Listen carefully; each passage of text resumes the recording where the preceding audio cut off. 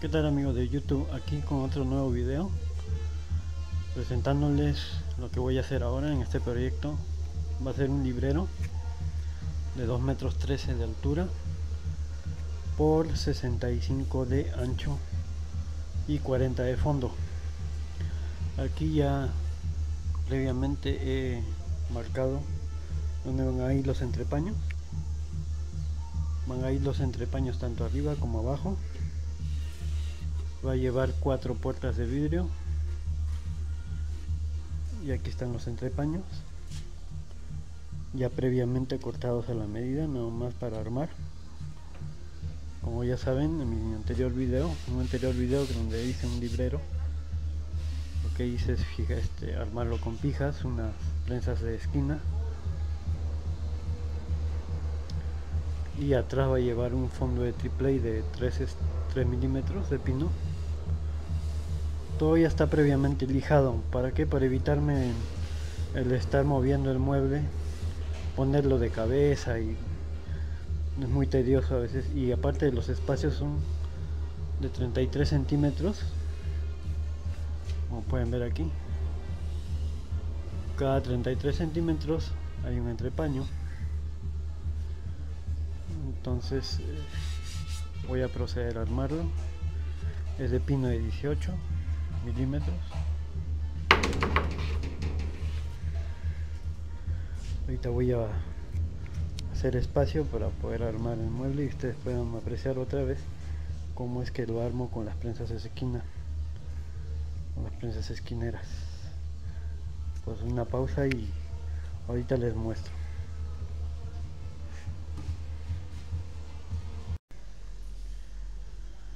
Bien pues aquí ya estoy empezando a armar lo que es el mueble que ayudándome con las prensas esquineras se las recomiendo mucho porque son muy útiles nos ayudan a lo que es a sujetar y poner a escuadra cada entrepaño o a escuadrar el mueble. De todas maneras hay que verificar con la escuadra que esté en ángulo de 90 grados que esté a escuadra. Y aquí estoy usando mis atornilladores uno para atornillar y el otro para perforar la guía de la pija con una broca con avellanador. Es una broca avellanador de igual aquí voy perforando y voy atornillando. Y la cabeza de la pija va escondida para después el resane final. Tenga mucho cuidado de irse derecho a la hora de, hacer la guía para la pija. Porque aquí como pueden ver se salió. Y ahí tengo que resanar. Tiene que ser en el, mero medio. Este va a ser nuestra guía así tiene que irse la guía para la pija o el tornillo. Tiene que irse derecho en el mero centro del, triple.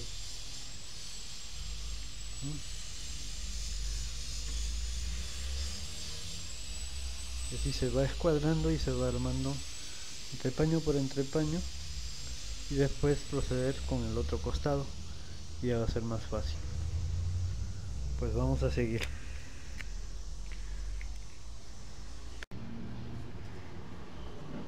bien de aquí estando listo el mueble ya le coloqué su moldura.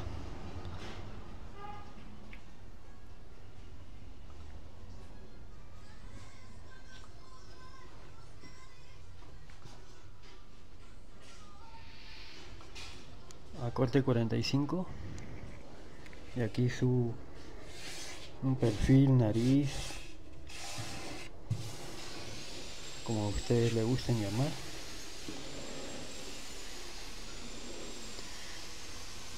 es el detalle que lleva el mueble aquí.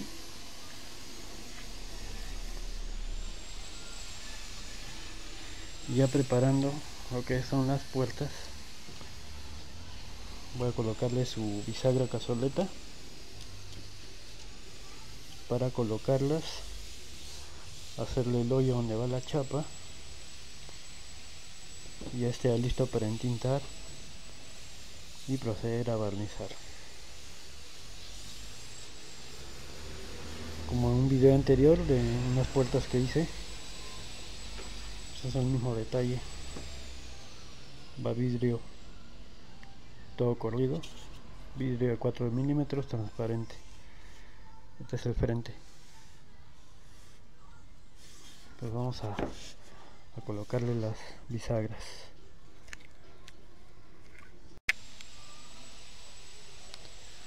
Pues aquí ya coloqué las bisagras en su sitio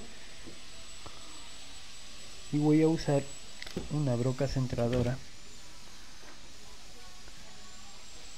que es de medida 564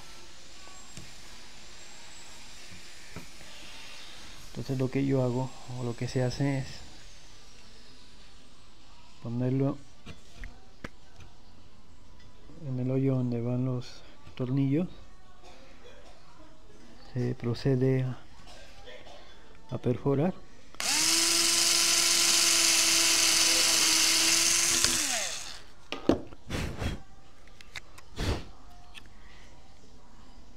tengo el hueco centrado donde va a ir el tornillo.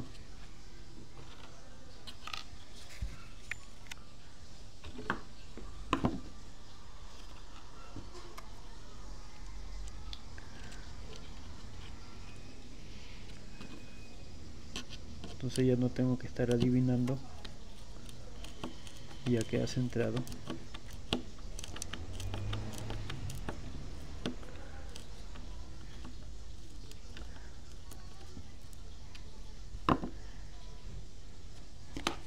aquí.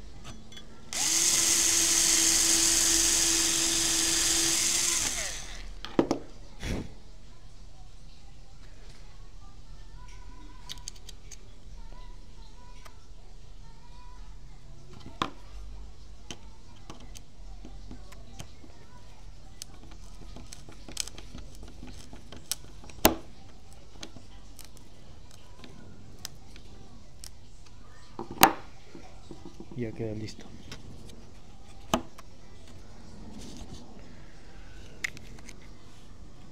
Primero hay que escuadrar que esté a escuadra a derecha la bisagra. Y lo que tiene esta broca es que tiene aquí a la hora que estamos perforando conforme vamos perforando esto se va hundiendo. Tiene un resortito tiene como un tope.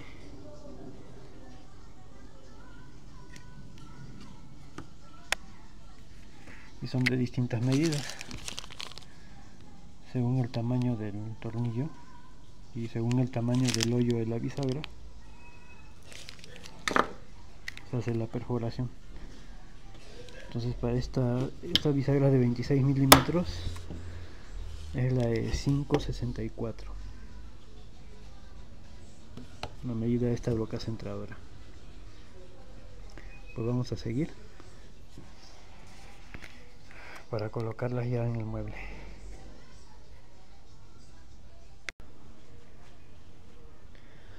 Pues aquí ya están colocadas las puertas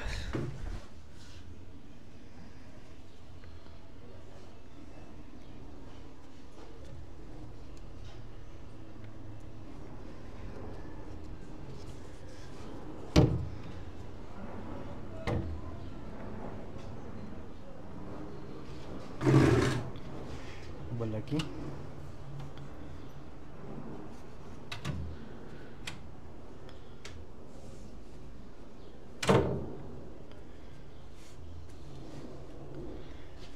más falta fijar lo que es los, los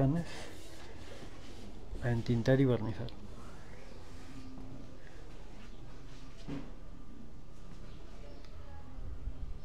Y colocarle su vidrio. Y listo a entregar.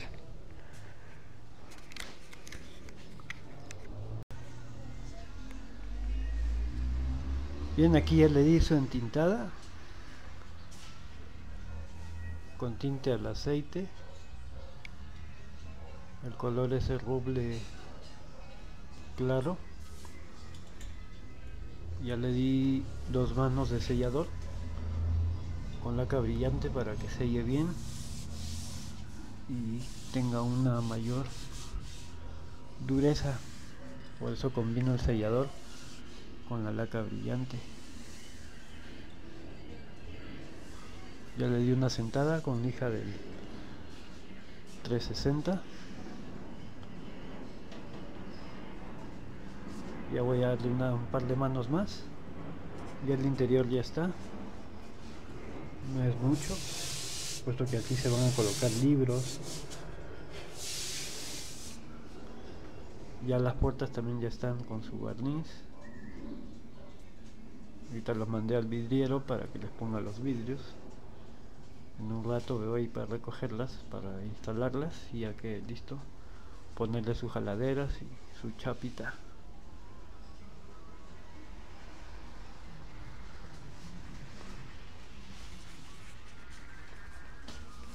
Lo estoy barnizando con brocha pelo de camello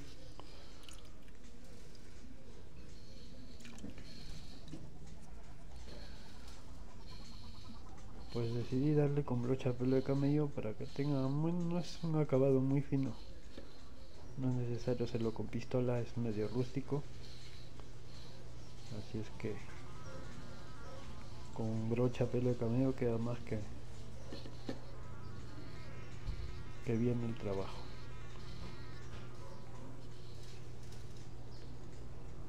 En otros muebles donde se requieran de compresora donde no se noten no sé, un trabajo mucho más, de un acabado más, más exigente, ahí sí.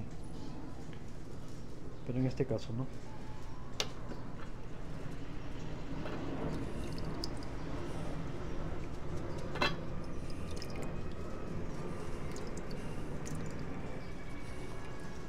Entonces vamos a darle aquí. Como una muestra, pero en sí se empieza de arriba hacia abajo.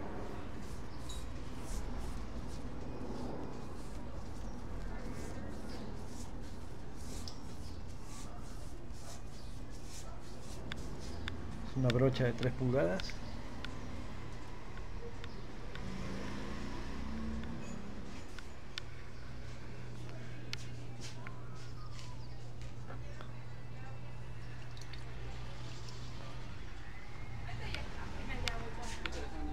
Tiene que empaparse muy bien.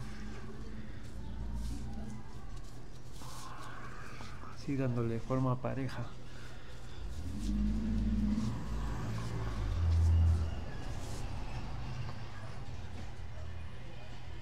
Y va quedando nuestro mueble excelente. No, pues voy a, a darle un par de manos más y ahorita regresamos.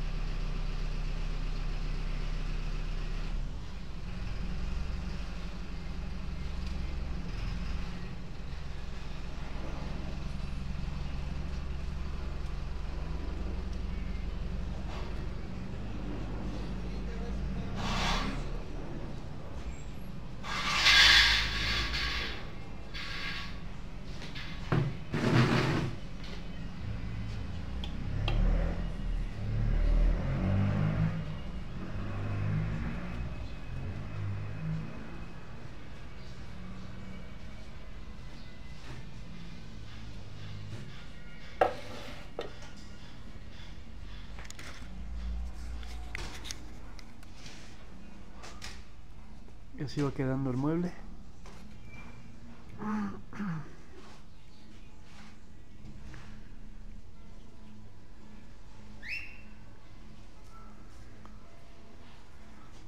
Ahora voy por las puertas instalarlas y darle la última mano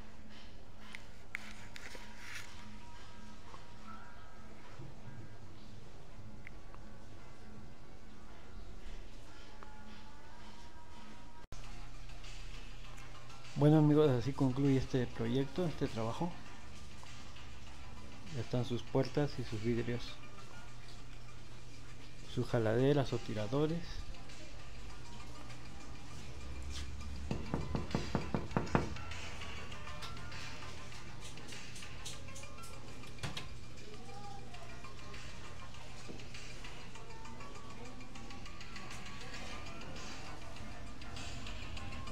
vidrio corrido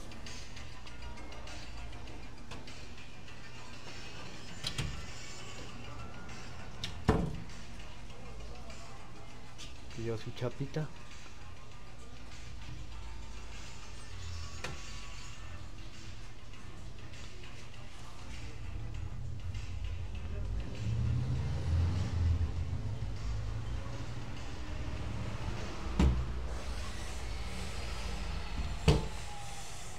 Bueno, espero que les haya gustado este video, proyecto. ¿Saben? 40 de fondo, 65 por 213 de alto, a 33 centímetros de espacio. 33, 33, 33, 33, 33 y 33.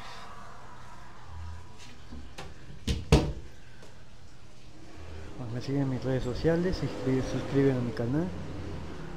Cualquier duda o pregunta o inquietud en debajo de la descripción del video, ya saben. Los con ustedes. Nos vemos en un próximo proyecto. Ahí tengo unas puertas atrás del mueble. ¿Qué es lo que voy a hacer en estas puertas? Voy a, regularle o aumentarle en lo que es el ancho y la altura unos unas plicas de madera unas tiras de madera para que me dé el ancho. Son de 75 me tiene que dar 78 o 78 y medio. La altura debe tener 222 estas son de 213 son las clásicas puertas de tambor o contraplacadas en otro lugar en mi país Perú lo conocemos como contraplacado